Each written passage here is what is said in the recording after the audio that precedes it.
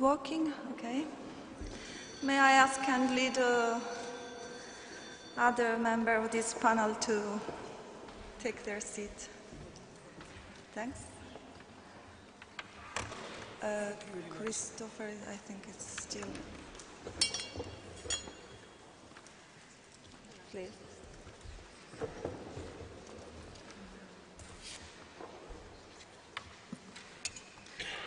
I don't have a watch. Sorry if I take a watch to control the time. Sorry. Oh.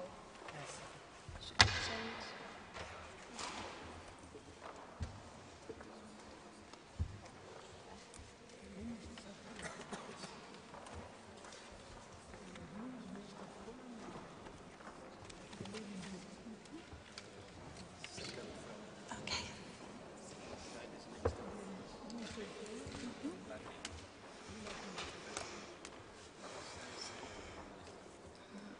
Okay. So first of all, uh, my personal excuses for starting with 10 minutes delay, but uh, uh, the discussion on the, the last uh, amendments on the statement uh, was uh, intense, and so uh, it took more time than uh, expected. Um, so um, uh, welcome, welcome again to, to all of you. And uh, let me introduce myself. Uh, my name is Erminia Sciacchitano. I'm uh, working at the European Commission, uh, DG Education and Culture. And uh, uh, in my task is to work at the development of heritage policies and economy of culture.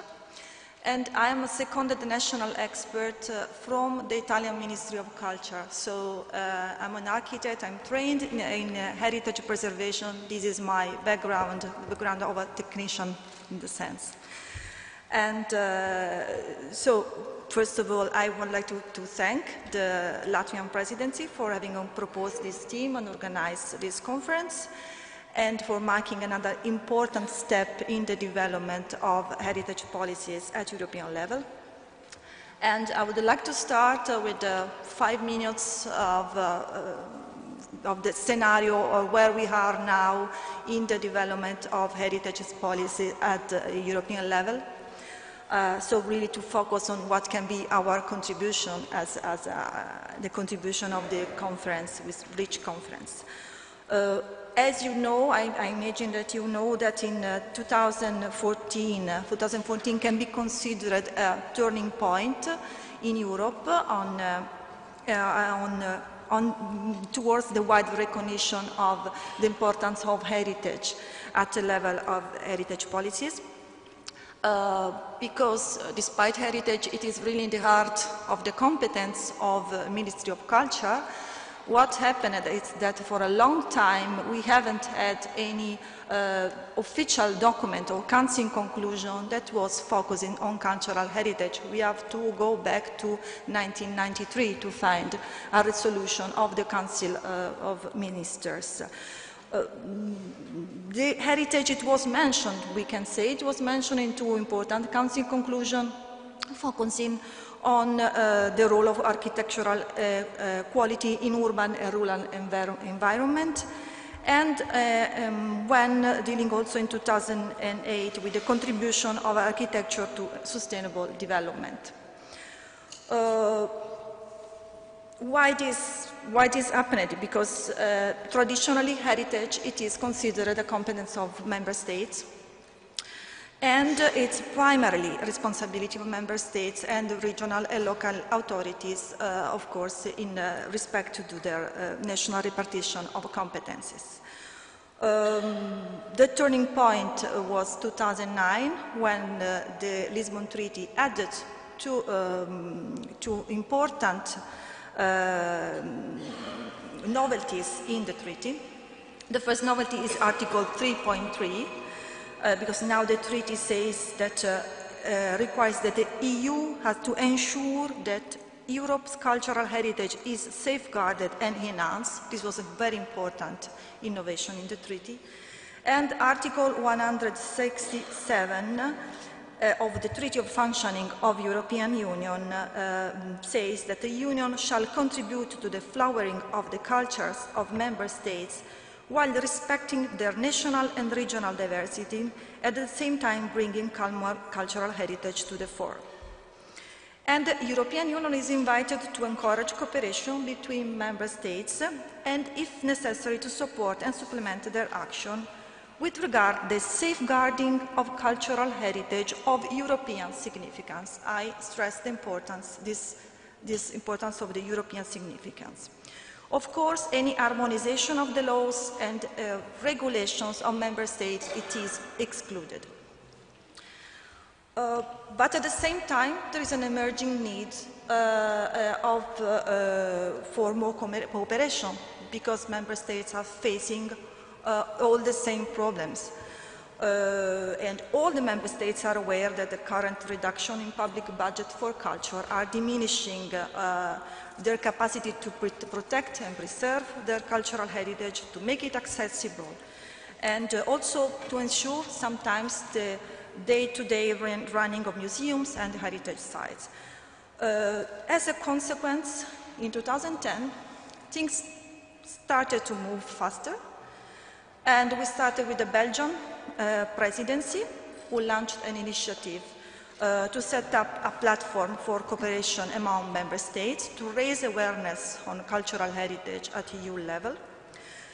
And uh, the key was to look at cultural heritage not only in the domain of the cultural sphere, but to look at all the dimensions of cultural heritage which are, which are, contained in the sectorial policies of the EU, which is a broader spectrum.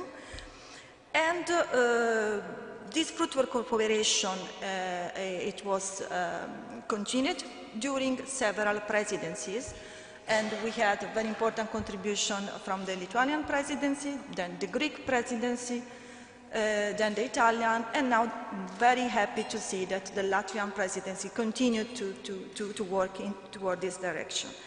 As a result, in 2014, we had uh, uh, a number of documents on cultural heritage that is astonishing if compared with the previous situation. Uh, in May 2014, we have the Council conclusion adopted under the Greek presidencies, uh, presidency on cultural heritage as a strategic resource for, for a sustainable Europe. And the conclusion called for mainstreaming cultural heritage in national and European policies and to the development of a strategic approach to cultural heritage. It's a very important mandate from the Council conclusion. Responding to this call in July, the Commission adopted a communication uh, towards an integrated, integrated, approach to cultural heritage for Europe, Europe, and where we really mm, tried to highlight what could be this uh, strategic, new strategic approach. Then in November 2014, under the Italian presidency, uh, the cultural minister adopted another council conclusion on the participatory governance of cultural heritage, and also included cultural heritage among the four priorities of the new work plan for culture, which is the principal framework for uh, um, European cooperation in the field of culture. In the Council conclusion on, on, participatory governance of cultural heritage, it was also included an important proposal for uh, working towards an European year of cultural heritage. So we also have an important horizon in front of us. Uh, we can see that today it's an important momentum for policy development uh, for cultural heritage. It's more clear that now there is no contradiction between national responsibility and EU intervention. We can work together. Uh, also making a full use of the potential of, of, cultural heritage and also of the programs and the opportunities that EU uh, offers to, to member states. So, uh, with the Latvian um, presidency now, we, have, uh, we, are making another important progress, another important step, looking at the interaction between heritage, contemporary architecture and design. Uh, we had very two intense days uh, of uh, discussion and, and information on many important initiatives. so a lot of food, of food for thought was, was served. As I'm an Italian, I can say that the food for thought was well prepared, elegantly served, and, uh, and uh, also tasteful. Uh, we started from the appetizer the, yesterday with this uh, interesting uh, visit, which raised uh, the first discussion among us uh, on the values of historical environment, on its preservation, development processes, and also it was interesting to see in Riga that all many different approaches that we have in Europe uh, to the historical environment, as, as uh, Christopher Young highlighted yesterday. We also have side dishes with these two important, interesting exposition exposition on architecture and exposition on design uh, downstairs. Uh, so, after having had all these, uh, uh these important uh, two days, let's start with uh, try to sum up to have the conclusion of this, of this day. I would first of all um, give, give the floor to Madame Ruta Muktupavel. I'm sorry for the, which is our guest. So. It's the rector of the Latvian Academy of uh, Culture. Um, Madam Minister, uh, dear colleagues, I understand that during the first uh, session uh, you looked at examples from around the world and now I will try to uh, get you back home at Latvia. And in my small presentation, uh, I will try to look upon an element of cultural heritage such as a Latvian traditional uh, farmstead um, and how it interacts with the modern uh, developments and also in, with the context of re-immigration, which is an important issue here in Latvia.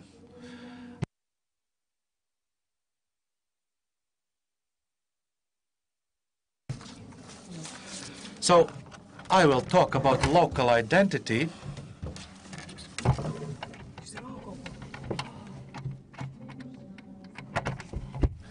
And how it can contribute to personal growth as well.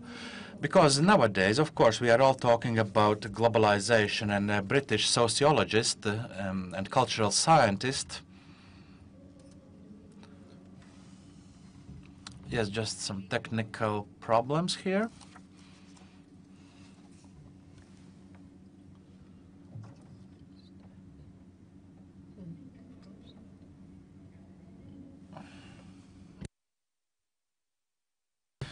So the British uh, sociologist, uh,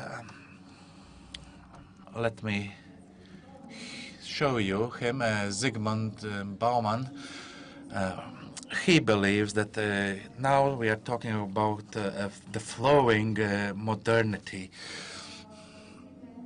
And uh, in a way, it's, uh, he calls it liquid, and, uh, and he attributes it to the development of technologies and and he also talks about the mobility of individuals, which results in an um, scattered identities and also marginalization of cultural heritage. And uh, usually both time and space is equally important for human existence. And it is very difficult to imagine a human uh, or humanity outside these parameters. And Zygmunt Bauman, uh, in a way, separates these two dimensions and he talks about uh, the solid parameter uh, or location, uh, while time is regarded by him as liquid category and pertains to uh, the modernity. And Bauman uh, just like Anthony Giddens, believes that the social processes in the second past of the 20th century uh, are not contradicting uh, the previous uh, ideas, but rather a continuation. Therefore, we are, should be talking not about uh, postmodernism, but the late modernism. And Bauman, uh, when he talks about these two uh, categories, he also refers to Henry Ford and also to Bill Gates as uh, the uh, solid and liquid element. And uh, in this uh, duality between solid and liquid, uh, Bauman believes that uh, the liquid is something positive, something uh, progressive.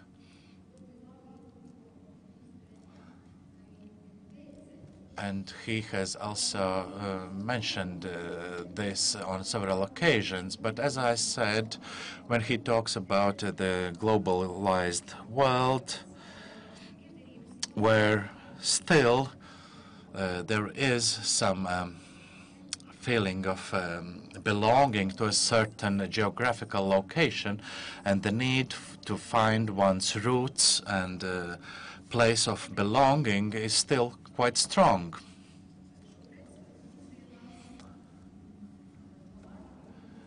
And uh, if if we look at the, uh, we can have borrowed from the marketing the idea that uh, globalization and uh, glocalization uh, uh, is becoming increasingly strong because we are looking at local and global at the same time.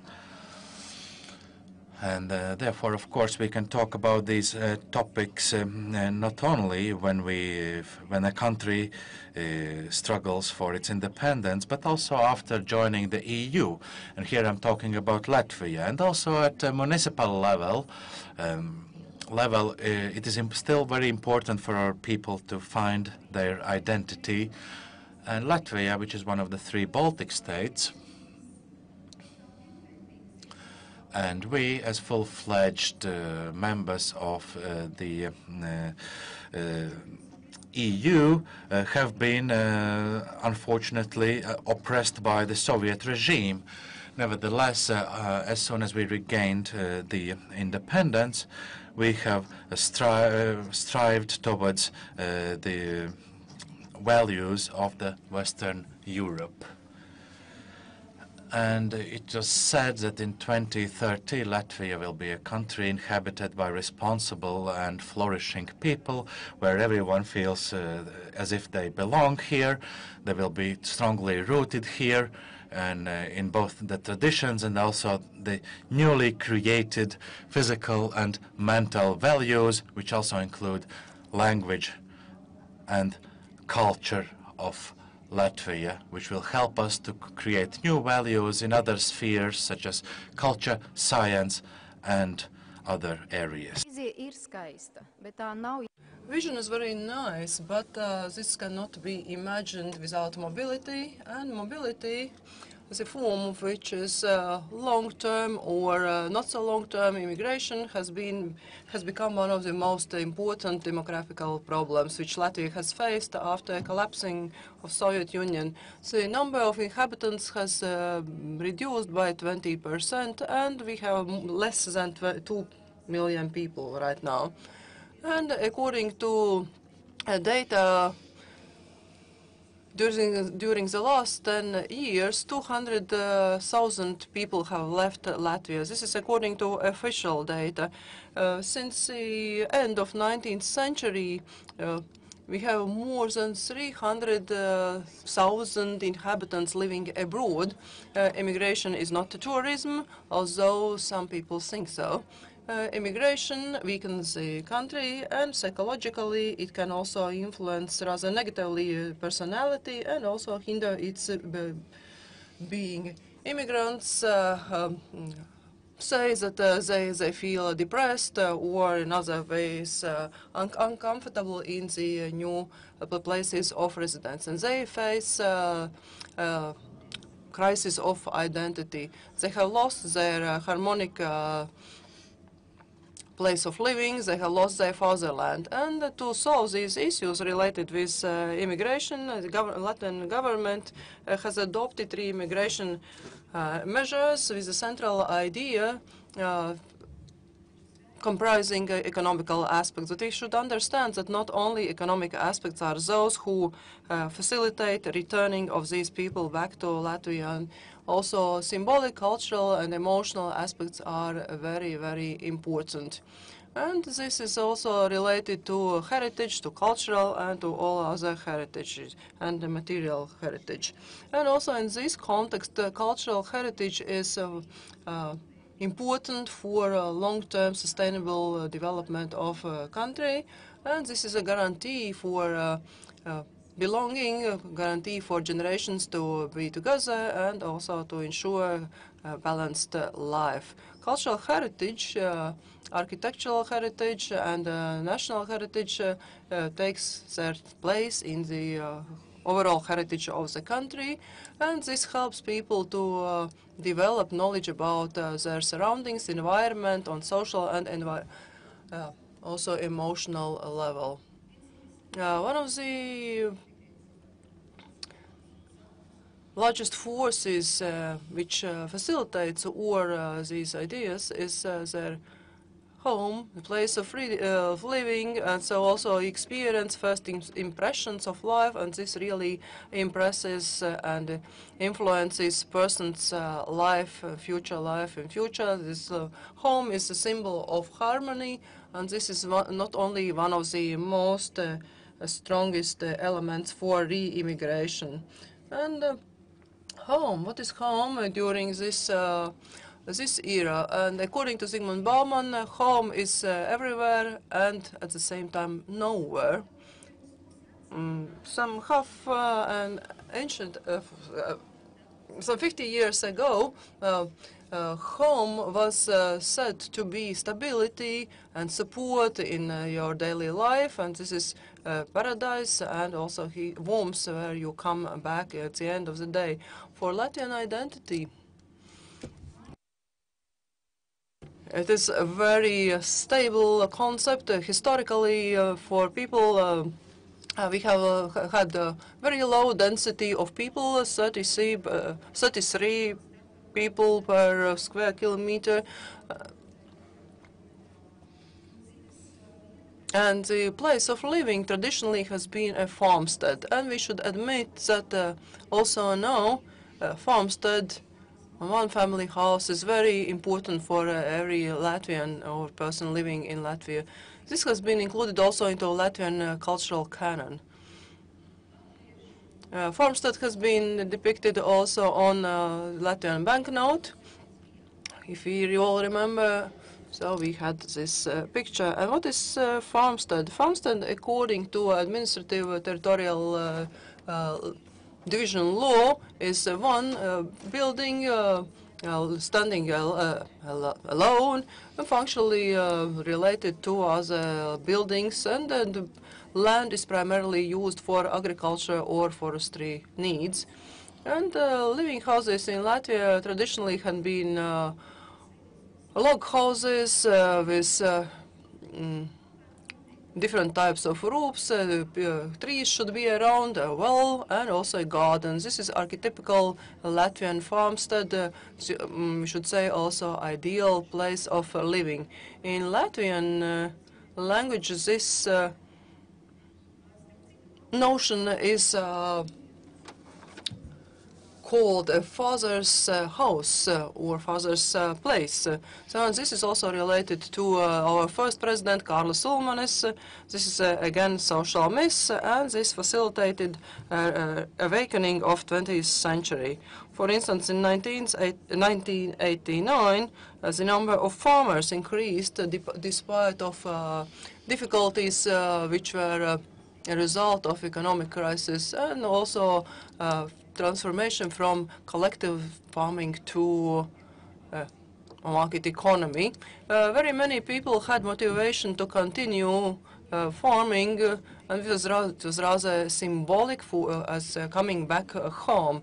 as a result of the nationalization, very many received back their their farms, their houses, and started farming. And so agriculture and farming, and also this farmstead is in every once in every Latvian's head.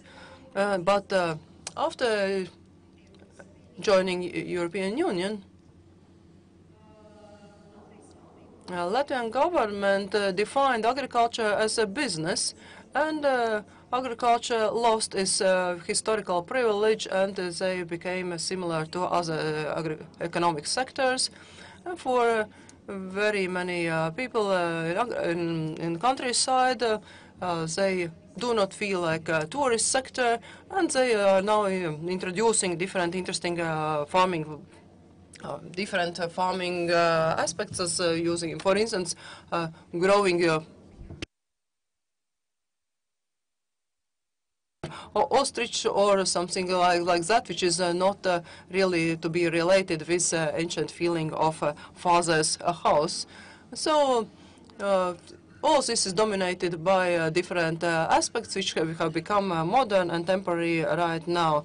And also now we see that the traditionally farmers way of living has marginalized. But the archetype is changing not so quickly, and we cannot achieve this so so fast. so again, people still feel that a house should be a harmonic, balanced place, well-being, communication with own people, native language, and also nice environment.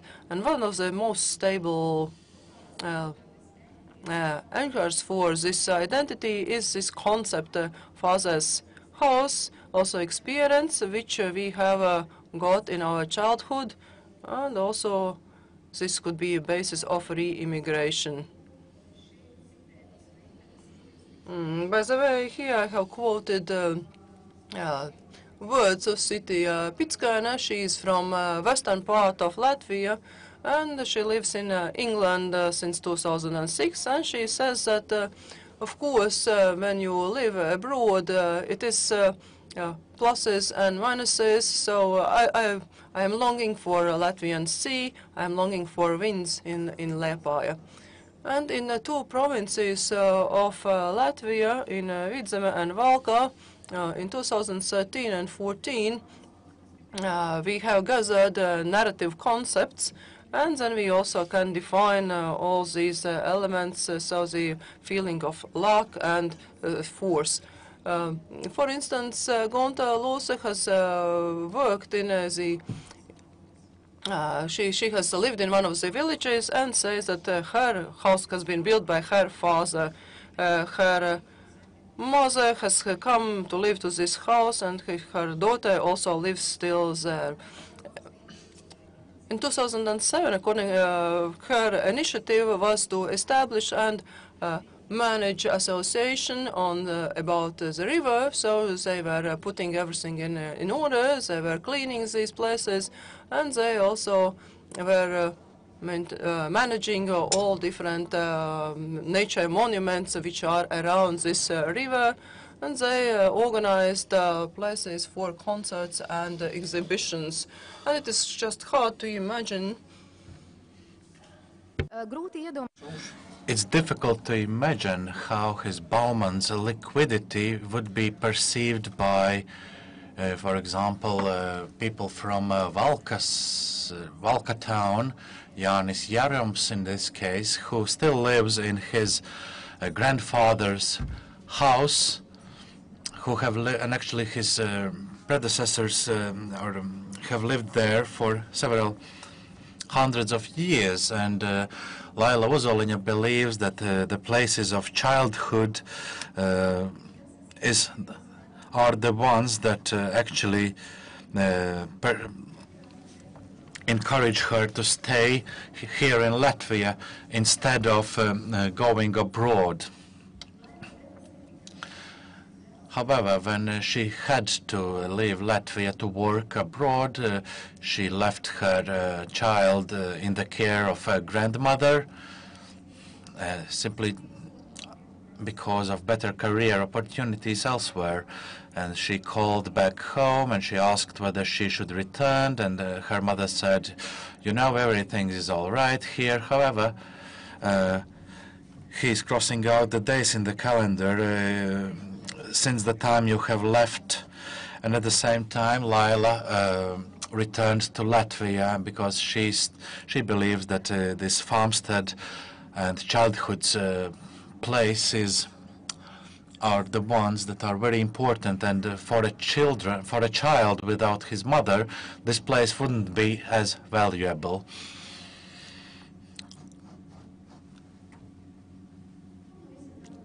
and uh, what could be the conclusions uh, of course in this liquid modernity um, we can apply this principle to a large uh, part of uh, Western civilization. However, one third of Latvians live in rural areas, and uh, um, in Latvian legislation, uh, there should be at least 2,000 permanent residents to be called city.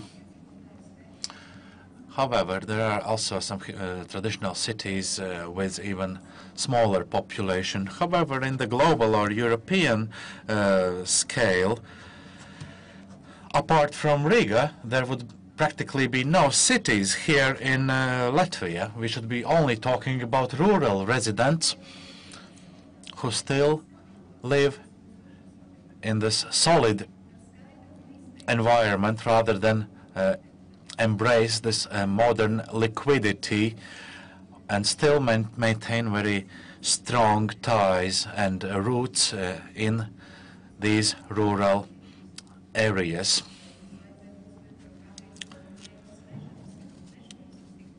Should we treat them as savages uh, found in uh, in some colonies? Um, I don't think so.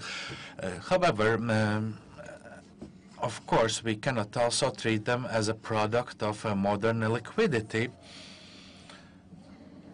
because this uh, in the conditions of um, uh, this uh, liquidity, the fragmented existence creates um, confusion, and in and here it is the cultural background that may bring some stability to this instability and liquidity. Therefore, the, a, a harmony with the environment is very important and the, the, the, deeper the roots uh, and uh, the deeper someone's connections to his or her place, the more important is to have uh, a quality environment. And there is also a, a, a correlation between high uh, level of feeling of belonging and also the need to maintain this place uh, along with uh, culture, language, and other values, which, or in the entirety of which uh, creates uh, the culture of each nation. Thank you.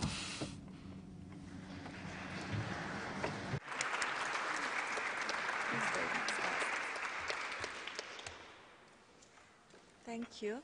Thank you for this intervention, which uh, reminded us the important and fundamental uh, role of culture in bridging uh, past, present, and future in a society.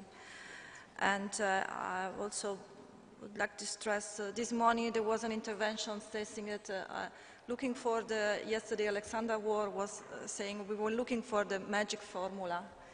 And today it was stressed that young generation is one of the uh, factor of this magic formula. And uh, we are here in an art academy where uh, the new generation of the creators of the heritage of tomorrow are, are, around us, and they were silently moving around us. It was also important to have such a venue well, well, with, while we really uh, look at the future also in, in, the, in the next generation. So thanks again.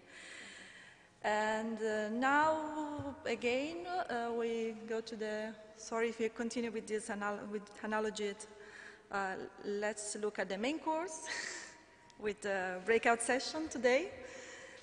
Um, well, I, I, assisted to both to some of the session. It was all of them were interesting, uh, and uh, there was a lively debate. So I, I kindly ask uh, to the first of the two rapporteurs uh, to um, uh, come here and uh, yes, Giuliana De Francesco. Giuliana De Francesco is the first rapporteur for the session on contemporary architecture and heritage. And uh, she's head of unit of uh, European relations at the Italian Ministry for Cultural Heritage, uh, Cultural Heritage, Cultural Activities and Tourism of Italy has a background in classical antiquities but also an extensive experience in European projects and also in European uh, policies. Uh, Giuliana, the floor is yours. Thank you very much. Uh, first of all, I would like to thank the organization for this excellent organization and for the care they put in every detail. So we feel very welcome here. I wanted to say that. And, and um, secondly, I, want, I, would like also to thank for this important task uh, that I was given. I'm very proud of that. I, I hope to be up to the task. But I apologize in advance if something is missed or misunderstood. So, first of all, I must say I was attending two sessions, the session A on uh, um, contemporary architecture and heritage, and uh, session C, contemporary architecture, heritage and awareness. And uh, there was a kind of uh, fil rouge going across these two sessions, which was the importance of dialogue. Dialogue across professionals, involved in heritage and contemporary architecture and design, dialogue between professionals and the society, dialogue with the political level, and also dialogue between architecture, space, environment, uh, and, and so on. This was the, if I had to summarize this in a few words, this would be the outcome.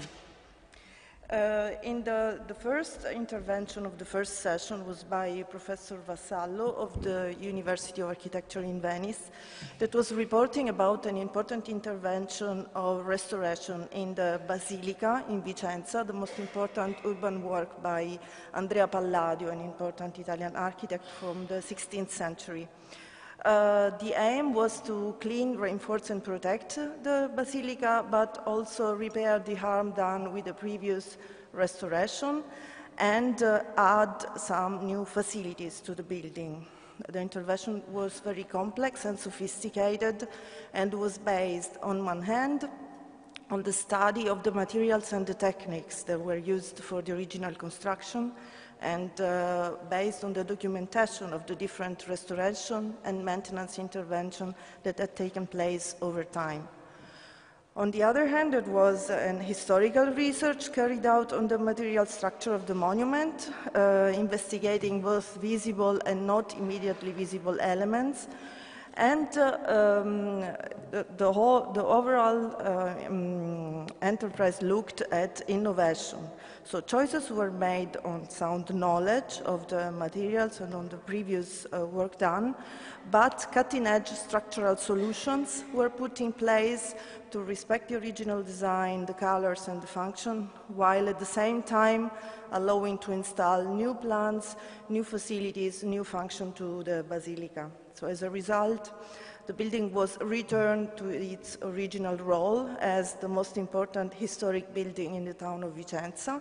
It was given back to the public, to the widest use by citizens, and by the tourists that attend events um, in, in, big, um, big numbers. The second um, intervention was by the director of the Museum of Europe and the Mediterranean in Marseille, Jean-François Chougnet, I hope to pronounce it well. And uh, this was a case study and a success story based on four main elements.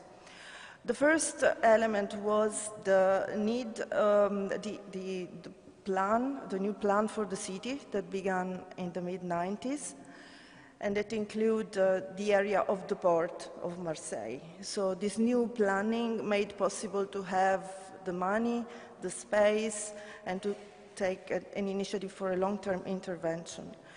Um, in the port, immigrants used to arrive in Marseille, but the area had been closed in the, in the 70s.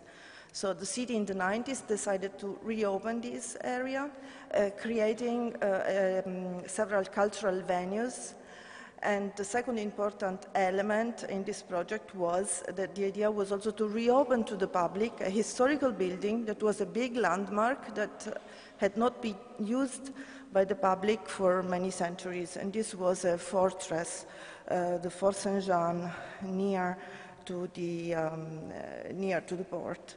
Um, Um, the reason uh, why this project was put in place was also the, um, the fact that Marseille was, pronounced, was elected European Capital of Culture for 2013. So there was a clear deadline for the completion of the project.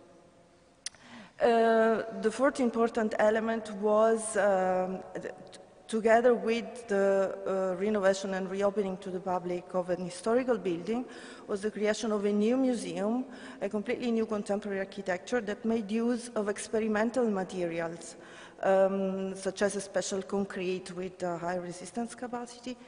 And uh, the result was a flexible structure combining two buildings open to the public, hosting uh, a temporary and um, permanent exhibition devoted to the civilization of the Mediterranean, not just the, the French one, and uh, connected to the main town through, also visibly through pedestrian bridges. So the, the, the, success in creating this new landmark was uh, um, through creating a new waterfront for, for the city and combining both the history and the contemporary culture of uh, Marseille. Um, and uh, it resulted in historic building having a function for the society.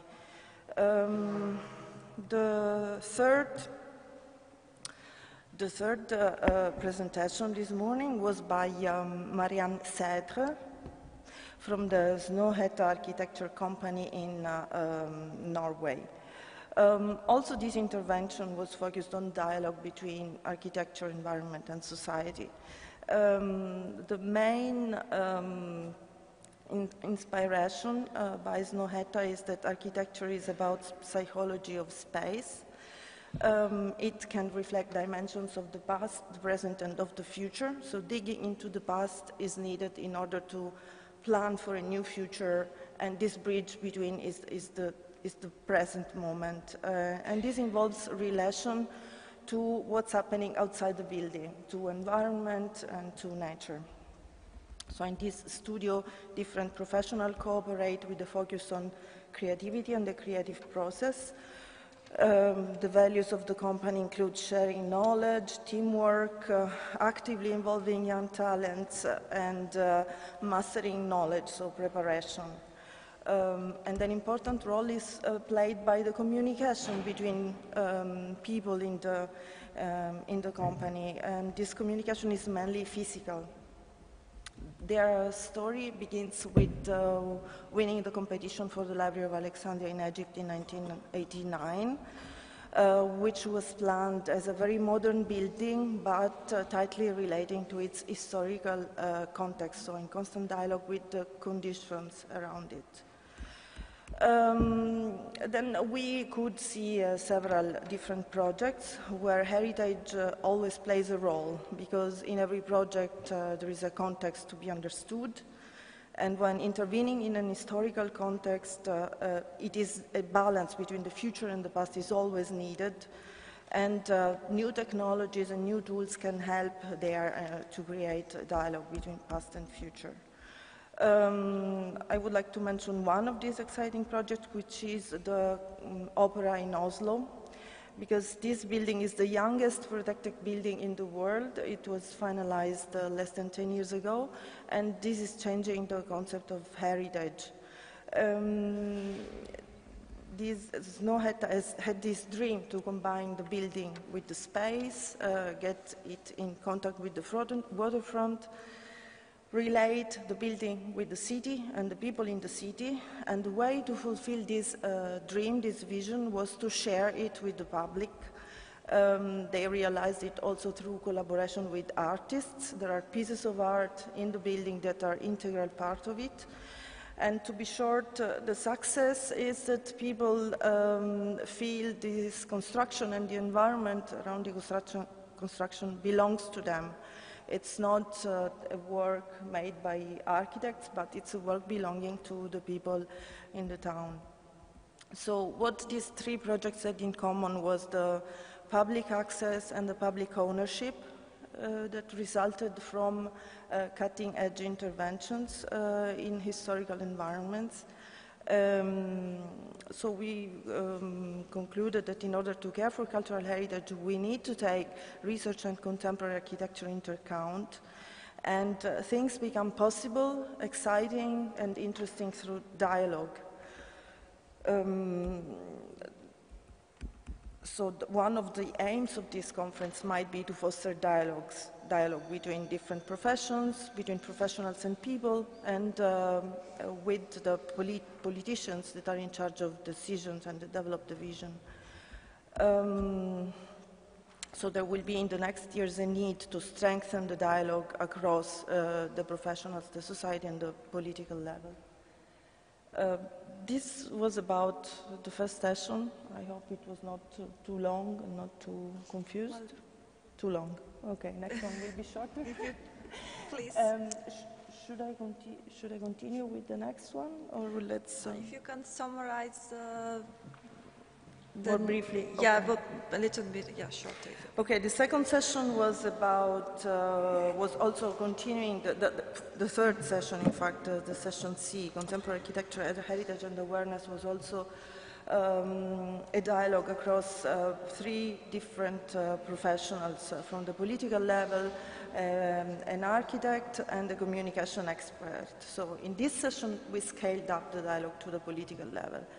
Uh, we had uh, Pirjo Sanaksenaho, I apologize again for my pronunciation, um, um, from a, an architect studio in Helsinki that reported about several examples combining new buildings with an old environment, respecting uh, um, the use of original materials, uh, such as, for example, in this Vasa factory, the use, that was one of the examples, the use of wood and of red bricks, and the reinterpretation of traditional elements of the local architecture, such as in this case, uh, long windows. Um, other examples were less uh, successful. There were innovative projects seeking to uh, respect traditional construction practices while renovating old buildings that were not implemented because of an opposition by the uh, Heritage Protection Authority uh, against modifications in the appearance, uh, in this case of a circular water tower from 1938 that was not uh, used anymore. And an exciting uh, project that was presented was uh, about um, an ecumenical art chapel in Turku, a main town in, um, in Finland, uh, that has a medieval past. The idea there was to create a new church that was open to all uh, uh, Christians, so that was ecumenical. It was based, uh, on one hand, uh, on the traditional form of the church, but on the other hand, on symbolic aspects, such as the fish, so that this church has, a, has the form of a fish that is a symbol of early Christianity. Uh, and other symbolic values involve the use of light. So the building is structured in such a way that people enter it through shadowy spaces and uh, look at the light the, at the bottom and they don't see the source of this light. So this is a kind of interpretation of the spirituality expressed by the church and this is also an interesting aspect of dialogue with uh, symbolic and religious values. Another main project was presented by the mayor of Nantes, Patrick Rimbert. It's uh, an urban renewal project uh, of the town of Nantes, located on two sides of uh, the River Loire. Today it has 600,000 inhabitants, and the object of the intervention was the Ile de Nantes, so an island located in the middle of the river in between the two sides of the town. The dilemma was uh, um, about determining the future of this area that was devoted to shipyards, but shipyards and shipbuildings had been closed down in, at the end of the 80s. So should these structures be removed, uh, should, should, they be kept? The reflection was led together with architects and urban planners, but also artists were invited to perform in this area that was abandoned in order to re-establish a dialogue with uh, the citizens. And um, the cult culture was in this case, cultural activities were an icebreaker, allowing to uh, re-establish this, this, contact between the, this area and uh, the citizens.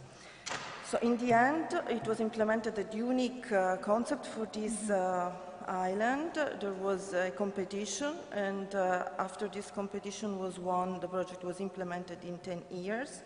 Um, the traditional metal structure were maintained but reused for completely different functions, including plenty of cultural activities, but also private businesses, uh, there are apartments, and so on. So on one hand, the historic layers of, of, the island were kept and exposed. On the other hand, there was good quality contemporary architecture, and the quality of the project attracted people to the island. And this is a success story because people not only love to go there, but they want to live there and to establish their businesses there.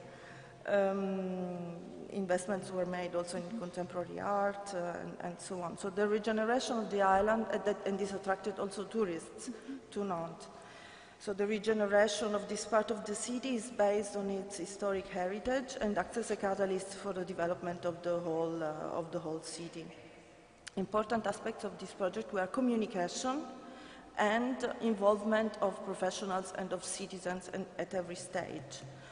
Which brings us to the last uh, communication, uh, last intervention about communication. We had an intervention by a communication professional that works with architects to um, clarify how lack of communication can disrupt not just the, the, the project, but the perception that people have uh, of the project. So um, he raises awareness on the fact that um, we have to uh, communicate what is being done, and professionals have to invest effort to communicate what is being done to preserve and restore uh, cultural heritage, but also to implement contemporary architecture because it should be clear that how this can be benefit the community and the society because the risk is otherwise that bad communication might harm the project, uh, might damage the public perception of architecture and uh, undermine the understanding the society has for public buildings and uh, for public spaces, risking uh, to develop the thought that all this is developed based on private interest and not for the for the public good. Uh, so there is a need of proactivity in the communication of, of projects, whatever projects in, in this field. Um, uh, the, the, discussion confirmed uh, the, the, the, issues at stake.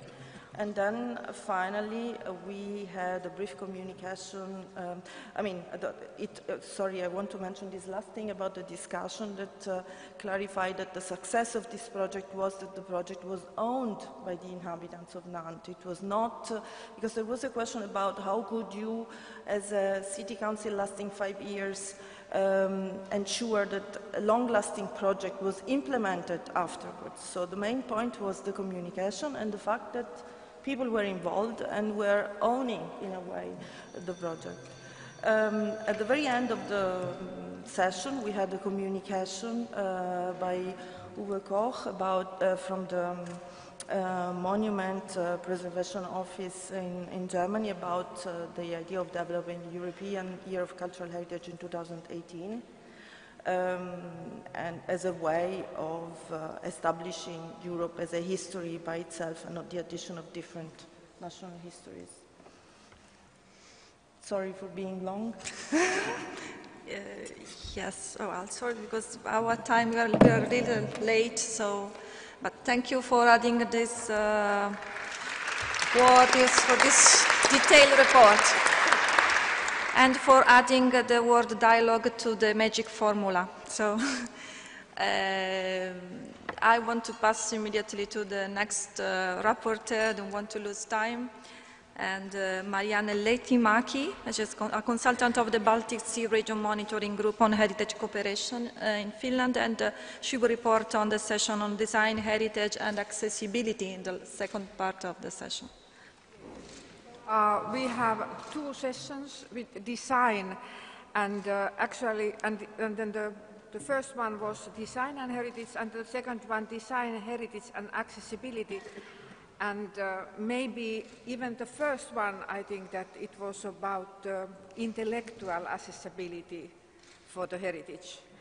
And uh, we started with the Danish practicing architect, Trine Naple, who was saying, presenting herself that she's an architect deep in the buildings, and she wanted to uh, transmit us what is for the heritage sector, what is the understanding of, uh, of the, this task of, of this kind of practicing architect. And uh, the, the task is to develop uh, buildings to get new life, which means transformation and conservation work. And the task is uh, to make the house, what, what is it, uh, from what the house is, to make a vision of what the house will be. Integrated in our time, but, but having a line back, a clear line back. And then that there is also that you, as an architect, you have to dare to make the necessary changes in an elegant way, as the new function is as valuable as the old one. Otherwise, it will not last. It will make new changes. And this process, it starts by studying the building very profoundly and mapping its values both those experienced and documented values. And among uh, those experiences valued, uh, Trine mentioned the ambience value. What is the feeling? What is the way? How, how this building surrounds us? And she was giving, I think that it's your personal for forgiveness factor. What is the forgiveness factor of this hall? How we feel it, how it makes us to feel. And then there is a challenge how to communicate it and how to, to make measures to preserve it. And her warnings were don't uh, turn buildings to museums, don't mistrust our time, and then there is a challenge to manage the newest technology, and this is especially the ventilation. So we have too many uh, examples of how a healthy heritage house has turned out to be a sick patient because of the wrong, wrong measures. And we have to remember that you have to use the building or you have to lo lose it. And we have to work for a holistic way. And uh, her good practi practices uh, were built on facts that cultural heritage creates identity. Cultural heritage creates experience. Cultural heritage is a resource. Cultural heritage is dynamic. and cultural heritage allows for development based on tradition. So this gives an, us courage to make these things. And I think I, am sorry for you who were not, because you missed these interesting photos. One of the most, I think, in European scale, elegant restorations are made in Denmark. So actually, we had a session with, uh, of three architect women from the Northern Europe, and transmitting the next one was uh, Ele Aun from KOKO Architects. Trine is from Möller Architects in Denmark and KOKO Architects. And, and she was explaining us and giving a good example of the seaplane hangars in Tallinn, which were transformed to the Maritime Museum, very successful museum. And um, it was a process of healing a building which was sick because of the lack of maintenance. And when creating new uses, uh, they enhanced attention also to the building itself so that it was not anymore like a storage or just covering something, but to, to show the values of the construction, special construction of the buildings, and, and to have the experience of the interior. And also there was, uh, when this transformation process took place, it was possible to create an access to the waterfront and open a former military area to the public space and give new uh, activities. And then we had Osa Dalin from the Stockholm municipality, and, and she was uh, telling us the rapid, rapidly changing urban landscape. And uh, giving us very good examples, then I, I think that this uh, of, of the collaboration and dialogue. And then again, if we are looking for the European example, Sweden is one of those countries we should, should study very clearly. And also you were mentioning the dive uh, pro, uh, analysis which was made in Norway. I think that in the Nordic countries mm -hmm. there is a lot of work with that. Maybe also based on that fact that we are living in the wooden houses which they, uh, they need maintenance, they need owners who understand how the houses should be maintained and in order to be to have them alive, we ha have to have this dialogue, that this, this understanding continues. So she was giving us example on policy documents and creative design processes. And in Stockholm, uh, there should be 140 houses, 140,000 houses should be built by 2030, which means that there have to be awareness of cultural heritage and architectural quality in this, in, in this kind of pressure of, of using land use and uh, building. And there, there, therefore, they are working with developing different kind of policies and methodologies to, to, to answer to this pressure. An recommendation on the historic urban landscape by the UNESCO from 2011 is, uh, is the, one of the, how to say, most important policy, international policy documents, because it gives, gives this broader urban context about the sites, topography, about the built environment, the historic and contemporary, the infrastructures, the open spaces, the gardens, land use patterns, and spatial organization. So it means that you, you, you get this holistic view. And then, not to forget, also intangible dimensions of heritage related to the diversity and identity. And uh, she was giving examples of a walkable, walkable city and very nice pavilions they have made, movable pavilions to, to places for dialogue, for public dialogues in, when they are making changes and plans. So er, very early phase, they start these public dialogues.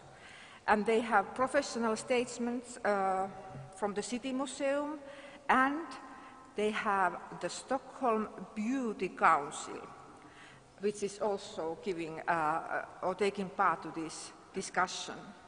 And then collab collaboration with the county administrative, administrative board and other forms on dialogues and heritage analyses and workshops and heritage impact assessments, assessments of planning proposals guidance for specific kinds of planning permissions and uh, collaboration with the research community and different kind of strategy. It was very imposing this, this, uh, to, to see the breadth and depth of the work they are working with. And then we had this other session uh, of heritage, design heritage and accessibility, and now we move to the Central Europe up to Italy with three men designers. And the first one uh, came from Austria, Austria Martin Foessleitner. And she, uh, he studied that uh, all this uh, process of design, it, uh, the point of departure is to understand people. The people are the, the target group. And uh, for him, he was making it as easy to understand the point. So he was saying that the very simple way that the basic questions are how to receive and how to give. How, uh, how, design, how to design the points of transition in daily life. In daily life. And the process would be to, to create an atmosphere, make it easy, easy to enter and easy to escape, and cool feeling. Now you, you, I don't know exactly what is the content of this term, but it means also to create platforms for social interaction and to use what exists to create, uh, to, to create what is to be. So it means that in Swedish you, you say man tar vad man har. Uh, it means one takes what, what one has. And, and this is also one way to, to look up to heritage, that what we have inside the heritage and then how to use it further. And then we had um, Pete Kercher from Italy, uh, from Design for All Europe. And uh, he started to, to ask about uh, that when we are speaking about the cultural heritage, what do we mean with it? To whom uh, do we need it? And is it cost effective?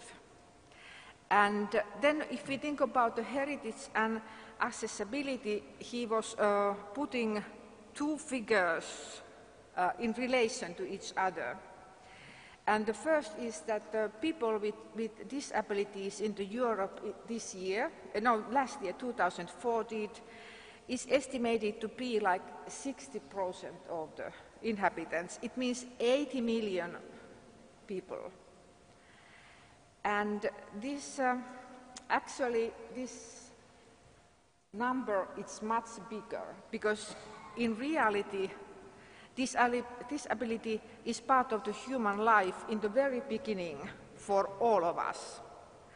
At the very end, it is also for the most of us.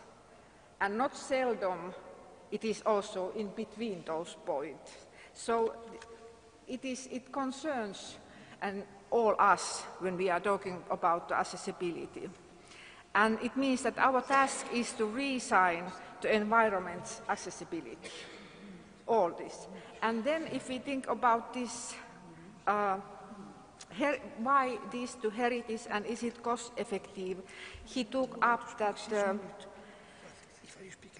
uh, that uh, accessibility to tourism is, is, calculated to be worth of 800, 800 billion euros per year. So this is, of course, is always difficult to, to understand these calculations, but it means also that there is a huge income if we are able to, to make these heritage accessibility, accessibility to all, and then that, that there are all kind of tourism, tourists. And then we got good examples of that. And one of the, how do you say, when we were talking about uh, economy and costs, uh, we were advised to consider what are the costs of impacts of not doing the issues. That there is a process that we will miss income if we are not doing these changes. And the last one in this session was Aart Oxenaar from Amsterdam, Amsterdam municipality, giving examples about how they try, uh, how they want to make uh, Amsterdam accessibility for people and bicycles and they are working with public spaces in order to regain them for people from cars. Opening buildings towards areas where people are, and here, as you said, that we were discussing this Alexandra Wars X factor, what is that? And it, that it can be students, new, uh, new groups of audiences, new uses of buildings, connecting, connecting neighborhoods, giving room for pedestrians. And there should be uh, many strategies for reuse, and also to think about that, that we, uh, we have to de develop pop-up reuses when there is a risk of neglect. And we have to think what kind of enabling processes we are able uh, to make. So I think that um, this was tasks in different scales and, and very inspire, inspiring examples. Thank you. Thank you. For... Thank you. Thank both the, the rapporteurs because it was really, uh, the, both the sessions were very, very rich and it was difficult to report all the, the, the discussion, so you well, took a little time more than expected, but maybe because it was a rich debate. So. I pick up the two uh, ingredients this time, and uh, but you, you can add if you wish. Uh, one is use it or lose it. I like this.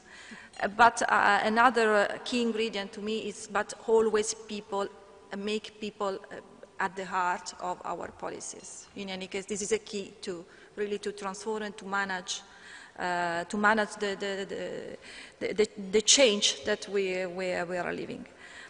Um, now we have another interesting uh, contribution because we have a report from the social networks uh, from uh, Katrina Kukaine, which is uh, deputy head uh, of the State Inspection for Heritage Protection in uh, Latvia. And so the floor is yours. Thank you. Um, hello. Good afternoon. Vispirms es gribu pateikt. Good afternoon. I truly hope that uh, you enjoyed these two days in Riga, just like we enjoyed uh, having you here. And among us, uh, of course, not only here, um, but also abroad, uh, we had a wide audience uh, to our live streams and also followed us on social networks. And if I had to summarize what I read on the Facebook and uh, Twitter, then I would say, you know, everybody was quite happy. But to be more specific about what has been said about us uh, on the internet, and uh, I would also like to take a look at what uh, you have said upon registering for the conference. And for example, uh, that contemporary architecture and design can uh, attribute uh, additional value uh, to our culture and uh, in this globalized world. And European mm, European heritage is a strategic uh, resource for a multifaceted Europe and this interaction between contemporary design and uh, heritage finally has been brought to political level because otherwise we cannot be talking about a su sustainable future. And uh, the next uh, emphasis was put on finding the new functions, namely the best way to conserve a building is to find the new application for this building. Otherwise, it will be lost. And in modern times, we have to have a deeper understanding of uh, what specifically makes a certain building special and why it should be preserved. We still have a lot of unkept and uh, neglected uh, buildings uh, along with many social and financial problems. Uh, however, uh, we still have to um, put right our priorities and also pay attention to adjusting uh, the cultural heritage to the modern needs by using appropriate techniques and materials. And uh, also, the, the commentators on the internet said that uh, sometimes the change in functionality can also lead to uh, certain negative um, consequences. And someone said that uh, sometimes uh, the newly assigned function can be misunderstood uh, or, or, or, someone, sometimes we could be telling about selling out where uh, in order to attract as many uh, visitors as possible, we may destroy our heritage. And also, the transformations of churches has been discussed quite widely, both in Latvia and Europe. And since people are leaving rural areas, uh, there is a problem of neglected um, um, rural churches, and uh, we have to think about how to use them, uh, probably by turning them into theaters, libraries, or restaurants, because we have such examples abroad. Also, the accessibility was emphasized on many occasions. And uh, accessibility and uh, new functions are very important in order for uh, the heritage to live on. And this task should be uh, implemented by applying architectural and design um, solutions uh, together with uh, responsible planning. But of course, here we should also be talking about the physical, mental, virtual, and also spiritual accessibility. The next aspect was identity, and um, because uh, many commentators said that there is a risk to lose the identity, and uh, historic cities sometimes fail to uh, adjust their functionality to the contemporary needs and standards, and thus they lose their attractiveness, and uh, therefore they turn to the tourism business alone which of course is also a risky business in a way.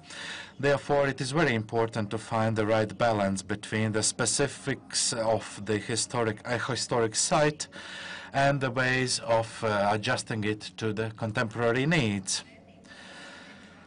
And we can uh, say that uh, historic heritage uh, forms the identity of each city However, uh, we have to find the best approach. Uh, we have to think about the fourth dimension, namely the time and the role the time plays in all this process. Then, uh, when we talk about dialogue and interaction, uh, commentators uh, uh, say that, you know, a good architecture should not be a parody of history, but rather put emphasis on the history, and uh, we should uh, maintain uh, several principles, uh, such as uh, uh, maintaining quality visual image and use the design, and they should be user-oriented and uh, in order to achieve a situation where the users uh, interact with our designs uh, according to our plans.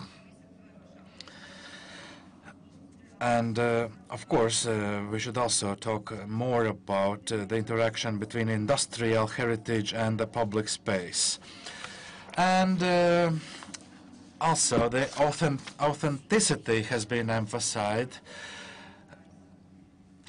And uh, of course, um, uh, we have to be very professional and uh, very uh, daring sometimes to accept uh, what we have inherited from uh, from the past and how we should um, deal with it nowadays. And of course, each era brings its own um, prerequisites and and um, requirements regarding how we treat our architecture or in general uh, surroundings. And uh, it, of course, requires a healthy balance between between the past and, and the future. And um, it was also said that uh, architectural competitions uh, could be used as a very good tool to actually uh, uh, find new solutions to the problems that we have discussed. And uh, in the very end, I would like to say that uh, we should be all aware that our future is hidden in our past. So thank you very much.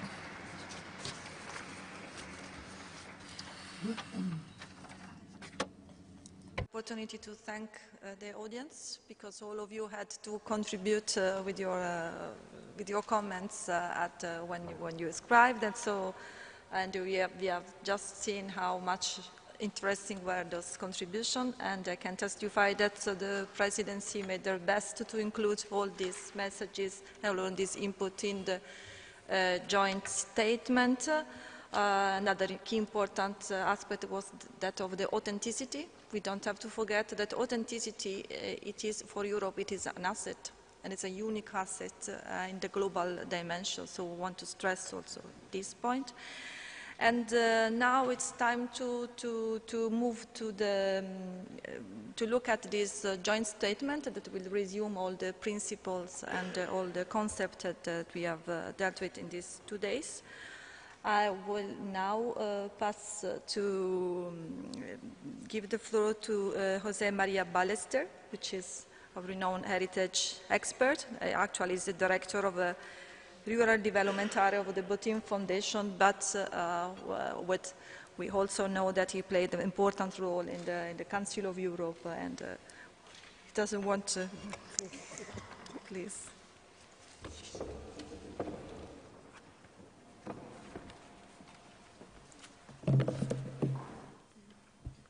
Madam Minister, ladies and gentlemen,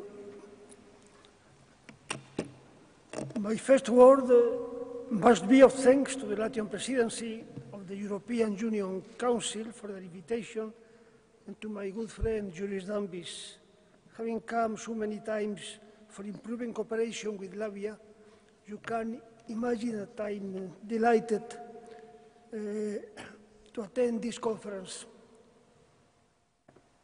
You mentioned, Madam Chair, that uh, there are uh, different approaches to discuss the theme of this uh, meeting. The conclusions uh, just adopted by participants in the Congress have rightly underlined the evolution of the very concept of cultural heritage over recent years. This evolution has gone beyond the limits of the heritage built or created by the hand of man to merge with environment, so arriving at a new vision of landscape, natural, rural, urban, peri-urban, as established by the European Landscape Convention. this teaches us that the true heritage is the territory. The final point of this evolution is the territory. The territory itself, when we take into consideration in a global and transversal manner its natural and cultural resources, its historical development, and the impression left by the life of its successive inhabitants. This is why it is so important to understand the territory with all those factors before designing whatever new features prove necessary. Allow me, allow me to quote a Spanish philosopher, Julian Marias, who proposes the intelligibility of history and of the heritage bequeathed to us by that uh, history in order to achieve its true interpretation.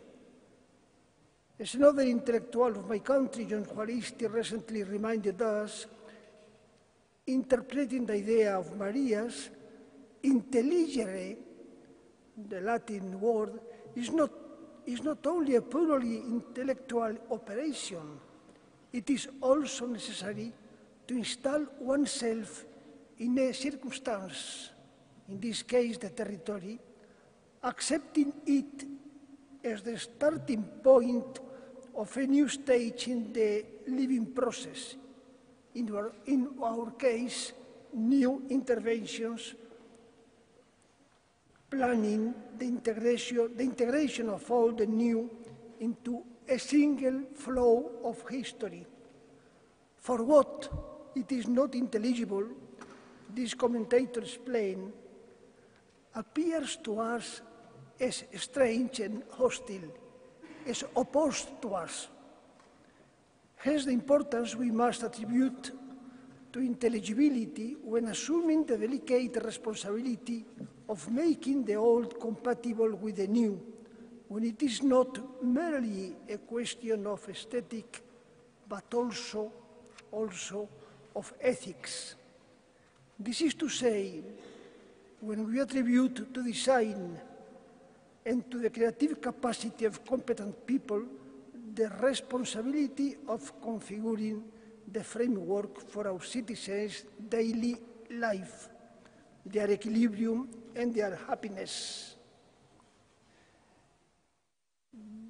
This idea This idea was already stated many years ago, but uh, the French expert, very well known of mm, most of us, uh, the French expert Françoise Choay in her book, The Allegory of the Heritage, when to explain the transcendence of this action, she said that the aim is to transmit competence in building.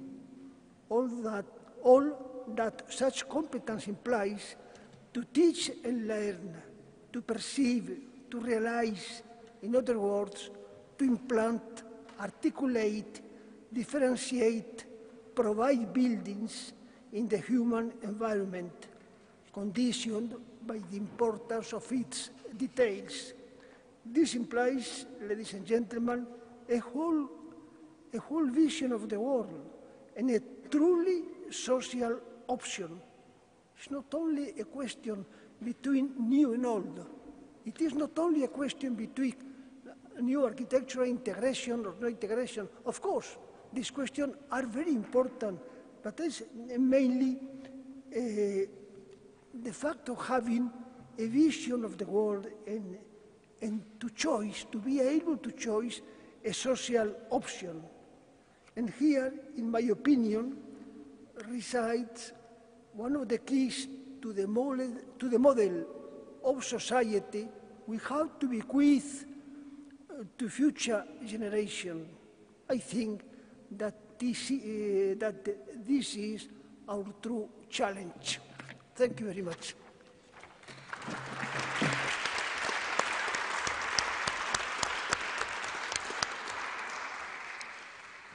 So thank you, and uh, so I think it's time to pass to the to, to read the statement, the final version of the statement, uh, in order to see if there's uh, this final version. It is uh, satisfy all the and uh, meets all the comments and all the suggestions that, uh, you made. I invite uh, now Christopher Young to to to illustrate this final version discussed and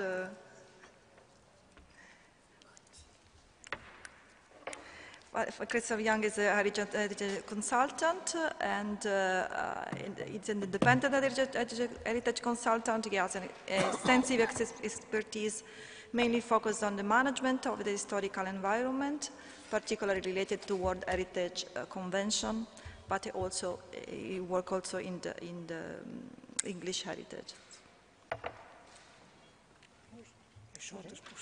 Yes, sir. I. Um, can I say minimum- first, thank you for inviting me to take part in this conference, and thank you for the opportunity to work on this statement.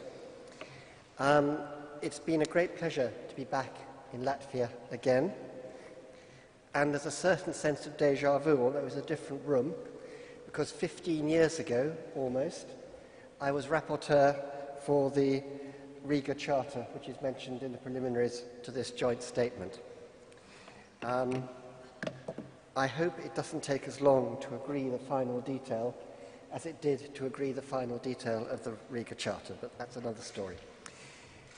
The statement that you have was prepared by a working group about a month ago and was then circulated for comment to all the people coming to this meeting and also to some other groups such as the EU Reflection Group on Cultural Heritage. A further version was circulated at the meeting this week, um, and you were asked to put any further proposals you had in for consideration. The, what we'll do now, I'm suggesting we do now, is that we go through the statement on the screen. Additions, which all result from comments made by people here or who have been here, are highlighted in yellow, um, and any deletions are struck through and highlighted in yellow so that you can see what there is there. I suggest that we go right the way through looking at the additional points, and then at the end, if there, once once we've dealt with all those, I will ask if anybody else has any other changes they want to suggest. But I think it's probably simpler to go straight through so you can see it all in one go, and then we'll see if there's anything left over at the end. Right. Starting with the preamble, the rec- recognizing part, in the first bullet point, we've added both tangible and intangible to clarify that we're talking about all aspects of cultural heritage. And we've generalized the value statement in the second line by deleting the most, so it just talks about outstanding values. Does anybody have any comments on any of that? Thank you.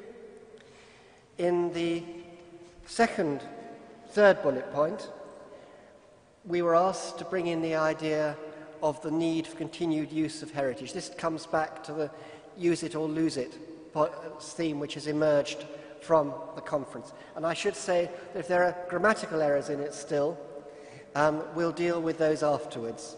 I don't need to be told we need an of in this bullet point now, which I've just noticed, although I wrote it. Um, everybody happy with that? Okay. In the next bullet point, number four, can we go back? So we're still on the bullet points. Um, we have thought that we should be trying to create an inspiring environment, environment for the present generation as well as for the futures. Why should we just be working for them and not for us as well? Everybody happy with that? Yes, I thought you would be. Now, if we go over the page on to what we are calling upon international government and municipal bodies, everybody to do, in bullet point one, we've added the idea of and history to identity of every location in Europe, since there are occasions when the history of a place may not have had a positive impact on its identity. Any comments? Is everybody happy with that? Bullet point two was not changed. Bullet point, I mean, number three was not changed. Can I come back to it afterwards?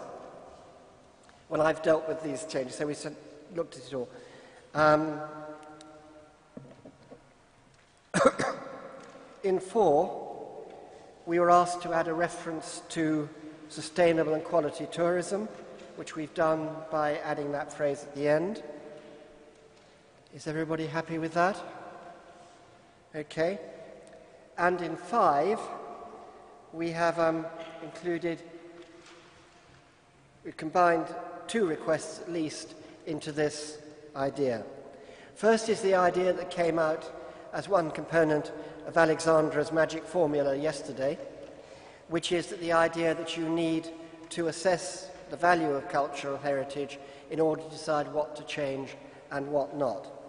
Um, and so we've introduced there the idea that any change has to be based on proper assessment of the values of cultural heritage.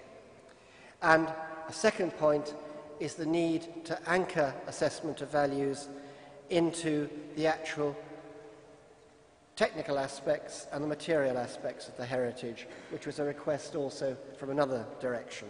So we've put both those points in. Um, I think that it still makes sense as a whole, and I think that strength, both points strengthen it. Is everybody happy with that? Thank you. In six, um, this comes out of the session in the new building across there this morning, where there was a lot of focus on demographic change and what that is going to do to us in the next few generations, or in the next 20 years, effectively. And the idea that superb architecture and design needs to take account of demographic change and the need to think more about accessibility and so on as you get a population which is increasingly less able to run upstairs three at a time, like I could once, but can't now, because my knees won't take it. Um, and so we've introduced that idea into there. Okay, everybody happy with that? Right. In the last paragraph, We've introduced two points. One is a reference to the proposed European Heritage Year in 2018 as a, as a means by which we can heighten awareness of heritage and, so, and the principles outlined in this statement. And the second is to deal not just with formal levels of education, but the framework of lifelong learning, which we're meant to do from the moment we're born until the moment we die. Um, is everybody happy with that as an addition? Thank you. Right, now just coming back, are there any other general points? I know that Dr. O'Dwyer has one on number two. Anything else? Yes? Um, can I take, if I take Freddie's first and then I'll come to you.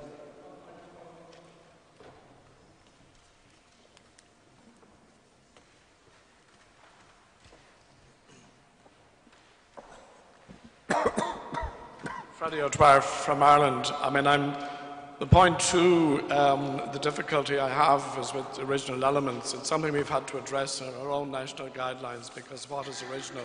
Sorry, could you say that a bit slower? Sorry, I just I put on my glasses. Um, it's just the, the, difficulty I have is because only original elements are of the highest value and evidence of cultural diversity. We've dealt with this in our own national guidelines. Uh, in other words, that buildings which are the products of many phases, and we would had an example this morning with the Basilica in Vicenza, which I think the professor told us is now on its fourth roof, having started the medieval times, been rebuilt three times since Cologne Cathedral, and probably rebuilt about four times. Um, so what are original elements? The problem we've had, for instance, after the Second World War, was some buildings were restored, say, to medieval appearance with Baroque elements removed. I would suggest that only original, should, the only should be taken out. I think it really it causes confusion. Okay, is everybody happy with the, that, the idea of deleting only in the second line of and, two? Yes, oh, just take out only. And I would suggest also at, in the last sentence, uh, replicating buildings or architectural sizes acceptable only in exceptional circumstances. Um, there may be cases, certainly, where you might have a building in the middle of a uniform terrace that's destroyed, or maybe a medieval building where there's damage that you have to rebuild it. You have to rebuild in the original style. So I would suggest the exceptional circumstances is too restrictive, and I would propose the addition of the wording exceptional circumstances and are in appropriate contexts. Only in exceptional circumstances and appropriate contexts in exceptional circumstances and our appropriate contexts. And appropriate contexts. Well, and I say and are uh, because it could or. be both. It could be both, yeah. Does anybody want to comment on that?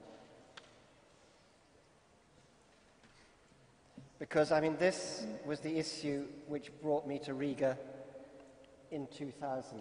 And it, at the time, replication of buildings which have been destroyed was a very sensitive issue in most of Eastern Europe, and I think may still be. Juris, do you want to?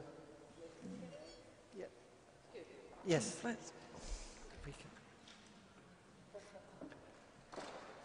There's a microphone coming. Very sorry that I've interrupted in this very important moment, but exactly. I came two hours uh, before from Poland, and this point in this statement is the most important point from my point of view. Maybe if you're for West European, it is not a big problem, but for the East Europe, former communist countries, it's the main score. So it's not so easy to change few words. With this changing of few words, we will change the sense of this text. And for us, it's extremely important to have the declaration which stress the authenticity of the monument as the most important uh, aspect of the monument preservation and to minimize risk that next generation will replicate our uh, mistakes by uh, reconstructing of the non-existent monuments on a very poor and obscure way, which many examples I can show you in whole Middle East Europe, because uh, otherwise we will lose uh, really the chance to have uh, modern architecture in our cities. Uh, it's not a critic, of course, it is a, a constatation.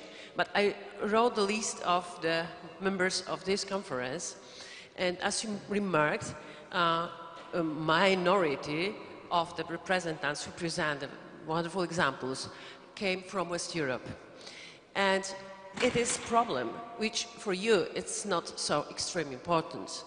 Uh, for East European, after the experience which made Poland after 45 until the reconstruction of the Royal Castle in Warsaw, and what happened after 89, when each country which lost something tried to uh, reconstruct it once again. And I'm speaking, uh, first of all, my, about my own country, where we had to accept uh, initiatives which put into our uh, city landscape awful constructions with idea that maybe somewhere, sometimes, something like that was there. And I am not speaking now about the uh, Riga as a very unique example, the Black Hats uh, house reconstruction, or um, uh, some other, but first of all about Poznan, where the awful uh, middle-aged castle was built in the middle of the city, uh, with hope that maybe 500 years ago something like that was there, but it's not true at all. And uh, please think about and let this text so hard as it is possible. Thank you very much. Thank you very much for that. Um, can I give the floor now to Juris Dambis?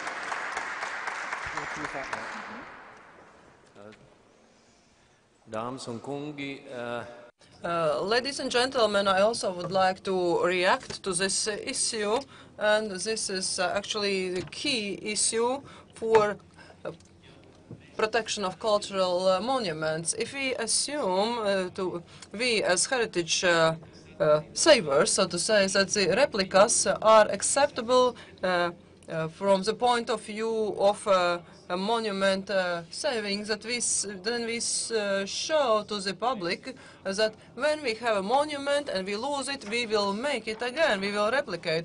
And actually this uh, would facilitate this, uh, uh, drawing of original values. But if we uh, express an opinion that when replicating, that we express that we, when we lose something, then it is lost forever, then we will fight for restoration, for for supporting and, and for heritage, so for these monuments, so we do not need to weaken this attitude.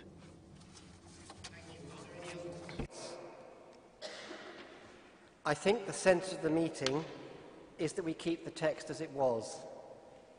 Are you happy with that, Freddie?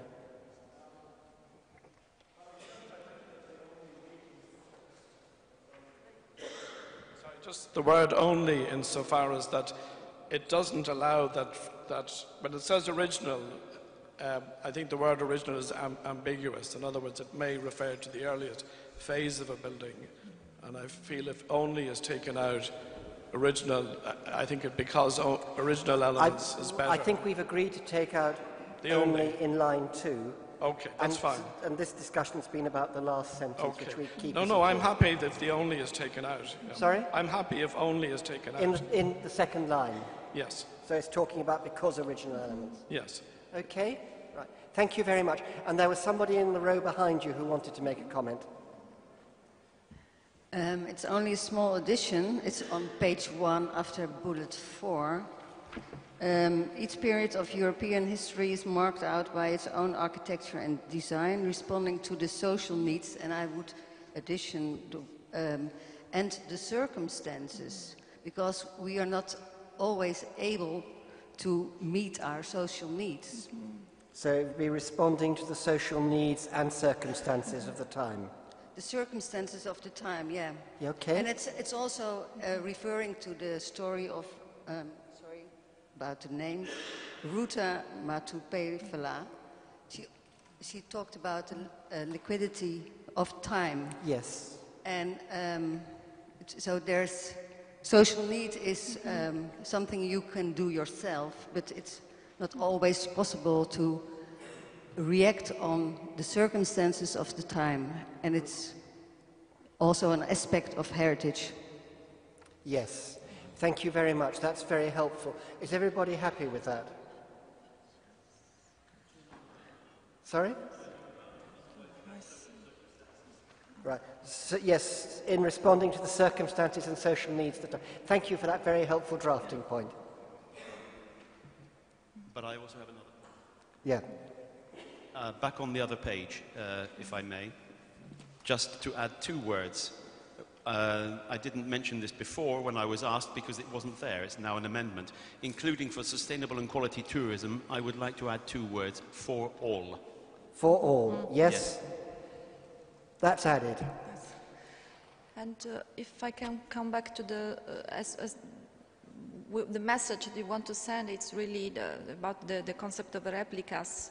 I'm just wondering if this wording is acceptable, may be seen differently from what we mean. And so maybe we can see, uh, maybe taken into consideration only in exceptional circumstances. Because in the sense, if you, if you write it's acceptable, well, somebody can say, okay, it is acceptable. I would have thought that but, uh, it was... If I'm interpreting well the, the willingness of this conference. I would have thought that the text was okay as it stood, because it will be up to the proposers of each case for replication to demonstrate their circumstances are exceptional. Okay. And for the government, whatever the state heritage authority is, to judge whether those circumstances are exceptional. I, I really would prefer to leave that sentence as it is, I think, um, because I think we need to keep it strong for all the reasons stated. Um, having done some study on reconstruction policies, I mean, firstly, it's a very sensitive area, and secondly, in the UK at least, what is said is not necessarily what is done. Um, so I think keep this as it is. Any other comments? Okay, then we have an agreed final statement. We will check it for grammar. Thank you all very much.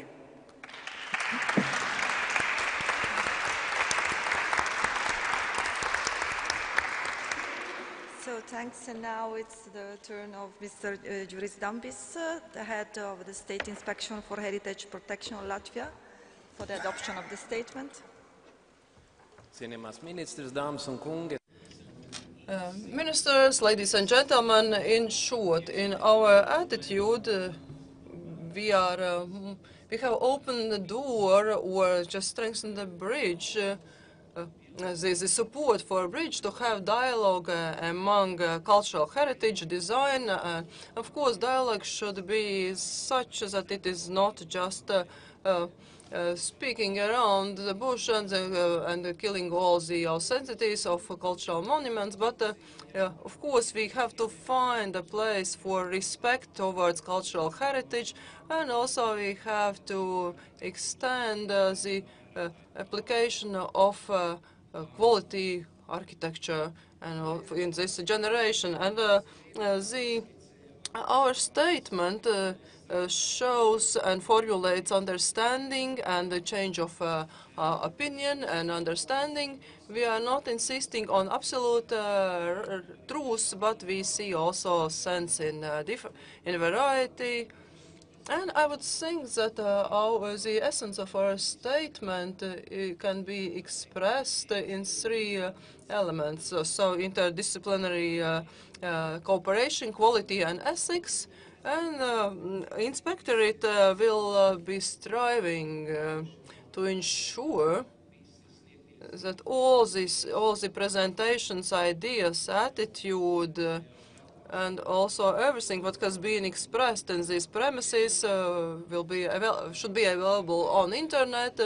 and I do hope that the final statement will be used in practical work in all European countries and the basic idea will be continued and developed also through new discussions. Uh, I would like to thank uh, colleagues from uh, other countries and also the uh, Minister of the Ministry of Culture. I would like to thank presenters, speakers, uh, uh, my team from Inspector who are working hard during these days, and I would like to thank all of you.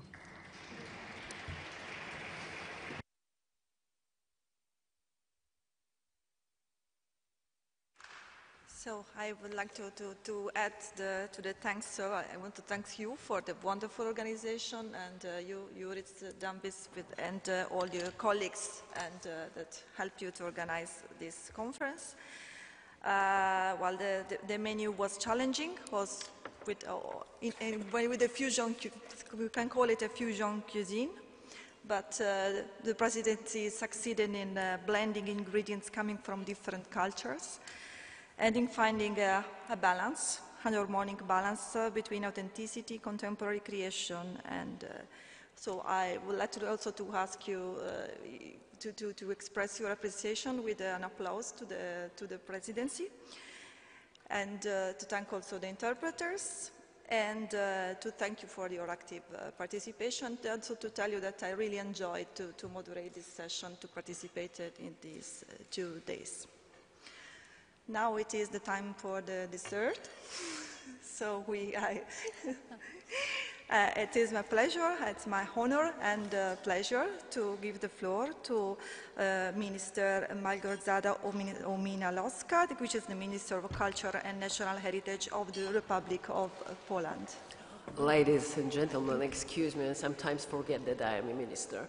And my temperament of the scientist and the person who devoted half of her life for mm, pro protection of monument uh, wins sometimes.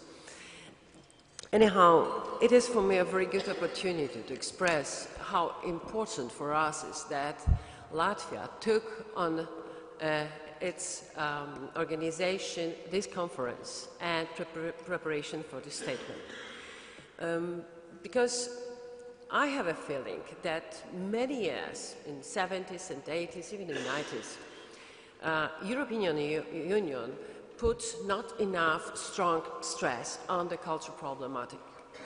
And uh, this change we noticed last few years is really very important and crucial for Europe because it is of course very uh, important that each country has own culture and can concentrate on own uh, problems and own uh, tasks in this case. But uh, we should use such tool like European Union to have also this common platform of uh, discussion, which happened already a few times in the last years, and which what happened now in Riga. Um, I'm extremely uh, um, happy that exactly this, this subject was chosen to, by Latvia colleagues for this conference. Because heritage is a common and unique problem of each country in Europe. Contemporary architecture, which uh, we also have everybody. But the problem of interaction between the heritage and new architecture and the design is something which is not identically uh, um, uh, um, focused in every country in Europe. And hearing your reports uh, afternoon and um, having this background knowledge from for former conferences and meetings, I think that we should also stress this difference which, between the Middle East countries, which had this communist uh, past before they, them and, and West Europe. Um, I am not ready to speak in the name of every Middle East European country because we had also different uh, experiences. But Poland, as you know, after the Second World War, was very, uh, very desert because of the destroying of monuments, for, especially in Warsaw, but also in Gdańsk and many smaller cities. And these processes we started after the war. Reconstruction of our old city was the crucial point in our cultural policy to get back lost heritage and to get back the certain points of our identity. Till today, our historians are pretty sure that without this great task we made after, between 45 and 55, that with no Polish nation as it is now till today. But then came the time when we uh, stopped the processes and started to modernize the country. Of course, it's clear for everybody that in communist system, ownership relations were different than in West Europe. Uh, uh, position of architects' offices it was different. It, it's, there are obvious things I, I would not know to, to speak deeper, deeper about it. But in a certain moment, mm, in the year 1970, because of the pure political reason, uh, our government decided to reconstruct Royal Castle in Warsaw. And it was a turning point in the European history of reconstruction because it was the first monument which was reconstructed not just after destruction, but 25 years after that. And never before, nobody tried to reconstruct the building which didn't exist so long. And we made it very, very profoundly. So we had documentation, architectural, photographical, and so on, and so on, and so on. And even more, after this reconstruction, we made, as Polish historians, architects, conservators, great scope to sell the subject to the whole Europe, to the whole world, to tell, look at us, we managed. It is the most famous monument of Poland, which we recovered after 25 years not having it. And one point more, in the year 78, when this building was even not ready, not fully reconstructed, was inscribed in the World UNESCO list together with the whole Warsaw Old List. So we really managed, but we opened the Pandora box. And this Pandora box, at the very beginning, was not so dangerous but after 89 shows what it really means. Because political reason is also always the ground why people decide to reconstruct something which didn't exist.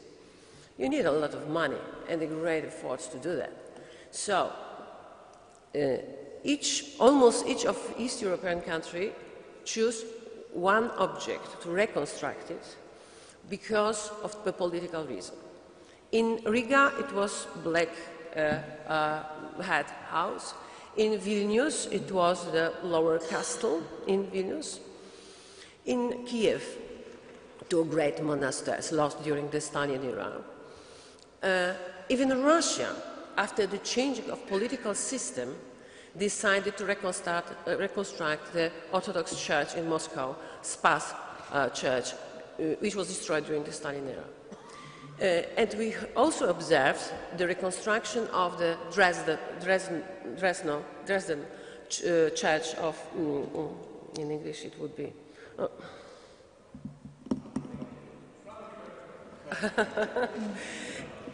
and we observe everybody in Europe, almost 25 years the long Berlin discussion about the royal, royal uh, imperial castle in the middle of the city. So but still, we can tell nothing wrong happened because each of these reconstructions were needed by the society. But the next step is already very dangerous because this next step, which was not done in many East European countries, but was done in Poland. Uh, for example, we, re re we reconstructed Jablonowski uh, uh, Castle in the middle of Warsaw it was already a step too far. Because we, the only reason why we decided to reconstruct further the buildings which were destroyed during the war was that we lost trust to contemporary architecture. And of course, it has its own reason. As I said, system, the very uh, uh, limited possibilities, creation possibilities of architects living in this communist system. Uh, and the quality, in, in final result, the quality of this uh, uh, modern architect, architecture, which was um, contested by the society. But we came into the situation in the 90s, in Poland, that we lost trust that our architects can construct good architecture. It's better to reconstruct anything what was former there because it was old and probably it would be re remember us, the, the, the, past, than to rescue that in our wonderful city will come the modern architect and do something we don't know what, and we will not be able to accept it. And what happened in, uh, in uh, last decade, when we started to be the part of the European Union, we got money. First time after the Second World War, Poland was in another position because economically we get enormous support to build and to create new public institutions. And finally, we could tell our architects, we are not a private developer. You don't have to think only about square meter. Please, design for us very good architecture because we need a good architecture. We spent 460 million euro in six years for European money, and the second part of it, so altogether almost billion million, to build in the whole Poland new museums, libraries, theaters, opera houses, and philharmony. Each of them were constructed on the, uh, started from the competition. We invited architects from whole Europe, and some of buildings were constructed by, by the foreign architects. For example, Mahlamäki from Helsinki built our Jewish museum in Warsaw. The Austrian company built the concert hall in uh, Lusławice. The uh, Spanish company from Brussels built Philharmony House in Szczecin. We constructed almost 80 great public buildings in our space, absolutely modern, super modern architecture, mostly in the middle of the old cities. And it's changed our world because people started to believe that modern architecture can be beautiful, can be acceptable, and can be good composed together with old structure of the city. And uh, this meeting for me, it's probably the first international opportunity to tell how grateful our society is because of this great change in our relation to all the new architecture. Because it's not enough to discuss, we have also to do something. And in our country it happens, it really happens. It's also not true that we don't know what to do inside this building. the Opera House in Białystok had six months after opening some financial problems because of the wrong management. But today is one of the most occupied buildings in the Middle East Europe. We have guests there not only from Poland, but also from Belarus and also from Lithuania who crossed the border to come to the opera spectacle in Białystok. And we have a feeling that not only we get a new substance, architectural substance, which allow us to develop the many aspects of our culture, but we also get a grateful tool to tell our society, please believe, modern architecture is better than the old one, which is only reconstructed and is not authentic. Old architecture is something what we should preserve because of its authenticity with hope that we will preserve as much as it is possible. With full knowledge, and everybody who is in this room knows exactly, we are not able to uh, protect every building because no use, uh, it's lost. So industrial architecture is still under very great danger, and we know that, and we have not enough money to rescue every old factory. But anyhow, if we understand the heritage, and I have a feeling that, that in Europe this, uh, this feeling is, without any doubt, accepted by every nation. And we got this trust and feeling that modern architecture has its own place in the middle of old architecture town, then we have a chance for the future. And thank you very much because of this discussion. And thank you very much for this conference because it was the most important topic we could discuss at this very year. Thank you very much.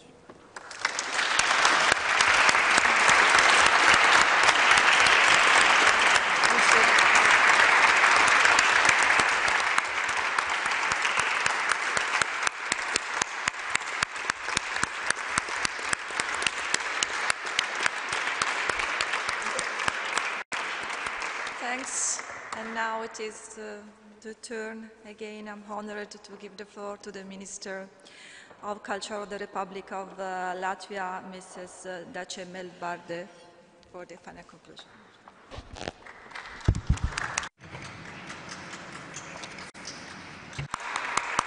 Uh, Dear Minister of Culture uh, of Poland, Madame Omilanowska, uh, dear colleagues, uh, taking the privilege to, to, to address you in, in Latvian, I will continue in Latvian.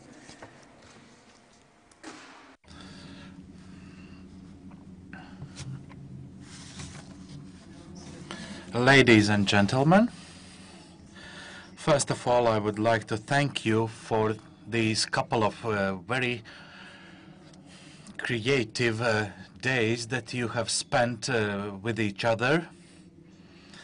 And uh, it was very interesting for me to hear uh, from you uh, regarding your final conclusions. And I'm truly happy to be the host, especially during the time when uh, Latvia is the presiding uh, country of the Council of the European Union. And uh, of course, this conference and the topics that it covers, I think, uh, fully complies with the three priorities of Latvian presidency, uh, namely uh, sustainability, growth, and inclusion. And uh, cultural heritage uh, and uh, our attitude towards it is, is one of the preconditions for a sustainable uh, growth in Latvia and Europe. And each individual uh, has the right to live in a quality environment, but at the same time, of course, it's also a responsibility for us to maintain it and to enrich it. I would like to uh, thank you, uh, my colleague, the Minister of Culture of Poland, for attending uh, this uh, conference because Poland has a vast experience in combining the historical with contemporary. Of course, these experiences also have been quite painful at certain times. And I know that uh, the Madam Minister uh, is emotionally, emotionally very deeply invested in ensuring protection of these of the cultural heritage. Therefore, I'm very happy to have her among us, us in uh, concluding these, um, um, uh, this uh, conference as we pre prepare to submit uh, these uh, findings and conclusions also to the Council. And I truly hope that uh, our proposals will be heard at the European level. Likewise, I'm uh, very grateful that uh, the European Commission has supported the organizing of this conference. And once again, I would like to emphasize how important it was it was for us to have Tibor Navracsics to open uh, this conference because, as I said before, the outcomes of this conference will be presented to the Council of the Ministers for Culture, and of course, the presence of a commissioner uh, is a sign of continuity for this work also in the future. And uh, generally speaking, this week has been very creative and busy. Not only we are concluding this conference, but we are also concluding the uh, Creative Week, Go Create. And uh, this week has been, we have been organizing this week already for five years.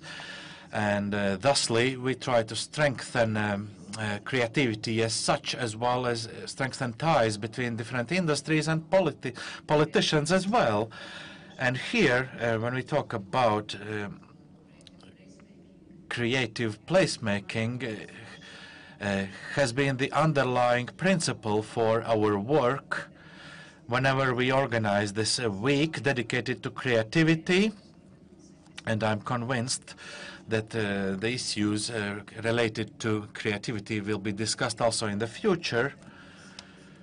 And I would also like to say that I am very satisfied uh, in the context of our presidency and this week uh, regarding uh, the Latvian design and its strengthening of its positions at European scale.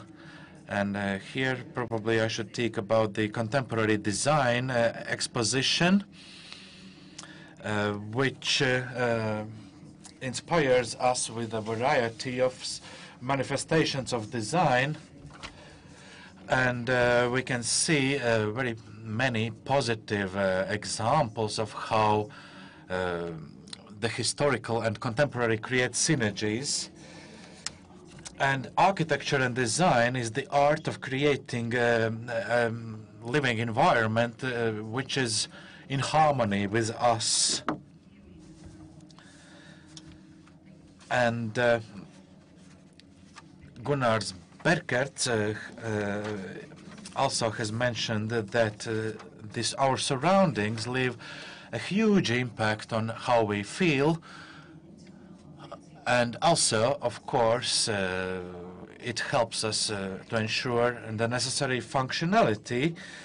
And um, such a quality environment also uh, creates the feeling of belonging and feeling of home. And therefore, I would like to thank uh, the rector of uh, the Latvian Academy of Art about talking about uh, this farmstead, uh, the father's house, about the feeling of belonging, because uh, this concept has very deep roots in the Latvian mentality and identity.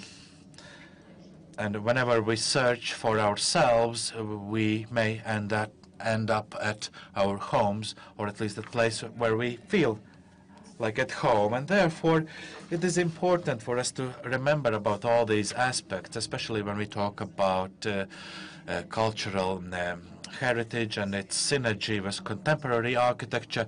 We always should remember that uh, they all serve people.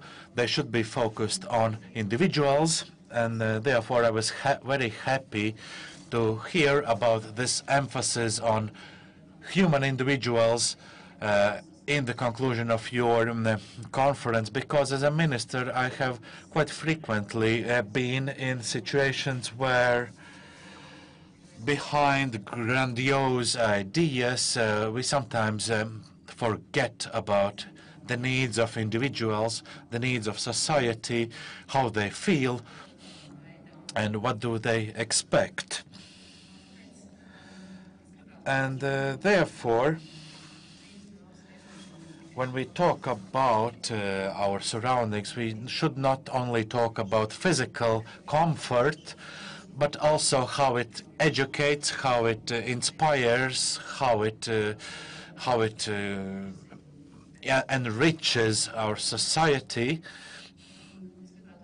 And uh, therefore, I would also uh, like to express my appreciation of another aspect of your conclusions, which is also very important for me personally, namely the, uh, the intangible uh, dimension of cultural uh, heritage, because of course cultural heritage is multifaceted and uh, we shouldn't forget or neglect also intangible part of it. Uh, of, of course, the, the tangible part can be more easily defined.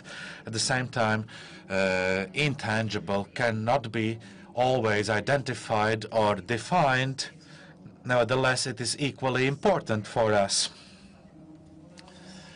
And uh, therefore, I would like to call on you as professionals to continue uh, your uh, research in the area of uh, intangible cultural heritage as we form our cultural space across the Europe and also here in Latvia, of course. And I think that uh, the newly built uh, National uh, Library of Latvia is a good example um, since it also is a main building which hosts the events under the Latvian presidency it acts as a symbolic, uh, intangible heritage which is combined with, with high quality architecture. Of course, uh, it is uh, based on our legends, on our folklore, on our literature, and our music. Initially, it was uh, the, the um, poem uh, by Rainis about the glass mountain to be conquered. And uh, in a way, we have materialized uh, symbols that have been so dear to our nation throughout years into this building of uh, uh, of uh, library and also the this library is often called among Latvians uh, the Palace of Light and uh, there is also a very popular song composed by a Latvian composer uh, named after this uh, Palace of Light. And uh, of course, uh, the symbol symbolizes uh, our our self-awareness and uh, our freedom. And now that it has been materi materialized as our library, as a result of a design by Gunnar Birkerts, uh, we can see that uh, not only it makes references to Latvian past, but also plays with modern and contemporary elements. And this clearly shows that uh, if managed smartly and responsibly, we can make these bridges between the past and the future, while also make, creating synergies between the, the tangible and intangible values. Ladies and gentlemen, you have worked very hard during these two days, which resulted in your joint statement.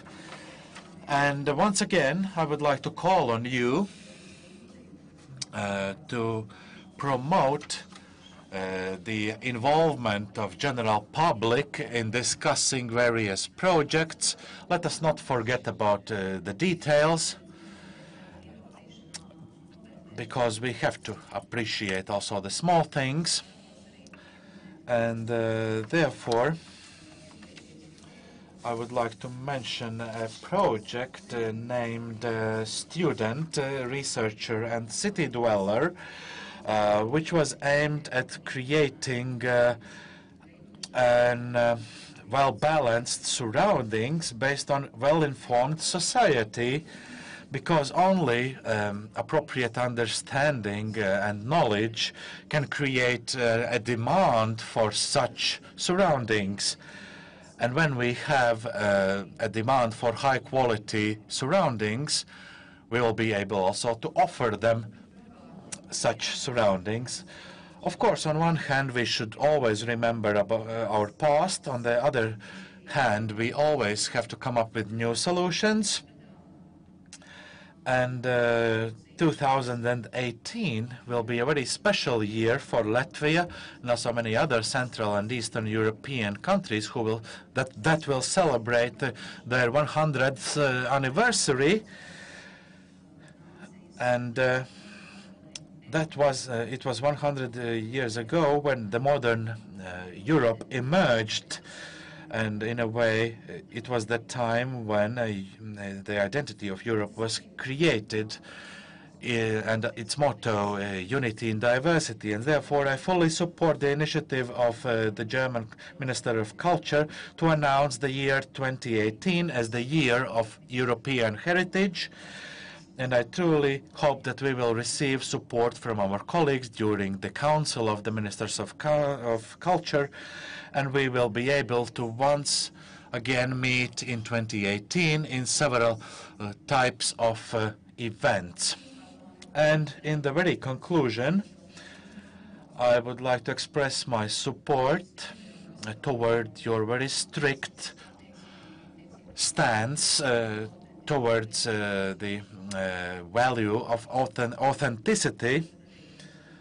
And thanks once again to the Minister of Culture of Poland for contributing to this uh, discussion because this is uh, especially topical given the situation in northern Iraq, where the so-called ISIS uh, ter terrorist groups have been destroying more than two, uh, several uh, sculptures uh, and manuscripts uh, that are older than 2,000 years. So I wouldn't like to finalize this um, this uh, uh, conference on such a sad note. However, I would like to uh, wish you all the success in your future uh, work. So once again, thanks a lot for your contribution and also in uh, contributing to the final remarks of the conference. Thank you.